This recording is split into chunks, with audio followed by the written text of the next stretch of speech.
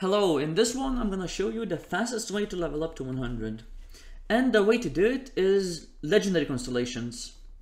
You can use any tier constellation you can do, so I'm using this time tier 1. I can't add any extra levels to the constellation because this is my fresh account. I didn't I didn't do any, this is gonna be my first one.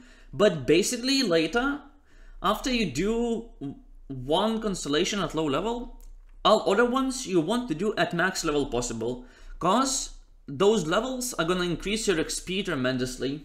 So basically in this one, I'm choosing to do Ohords because the last stage that we're gonna grind the most is basically a straight line. That means cle cleaving the NPCs in that stage is gonna be really fast and really easy. While you do your constellations, try to save every single red emotion because red emotion is going to be needed to recharge your count to do the last stage basically infinitely as long as you have red emotions. So save those and don't spend any of those till you reach the last stage. So whenever you start doing the last stage, just do it normally, but do not kill the boss. Leave the map before you start the boss. Just teleport back to town. When you're gonna do that, you will be able to recharge the map. And this is gonna be basically the way. You, you always skip the boss fight. As you can see, I'm basically finished the map, leave it, go back, pick up the reward, recharge with red emotions, and enter.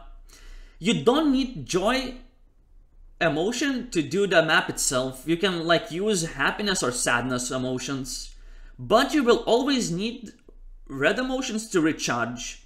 You're gonna see that on low level constellation, it's kinda easy to keep those red emotions. Most of the times you get more than you spend, but when you're gonna start doing higher level maps, you're only gonna be able to do maybe like 20, 25 maps, but that's gonna be enough to level up to 100. So this is basically the main idea. From 99 to 100, it took me around 9 minutes to level up.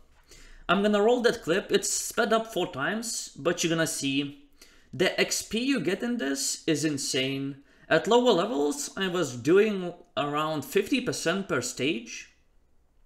At higher levels, it fall down to like 20. GG's, have fun, and see you in the next one and go get those levels faster.